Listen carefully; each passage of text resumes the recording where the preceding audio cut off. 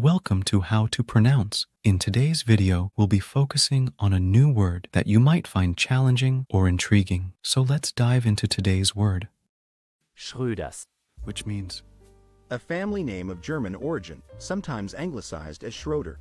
let's say it all together.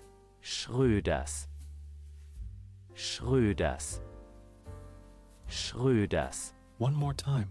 Schröders, Schröders, Schröders.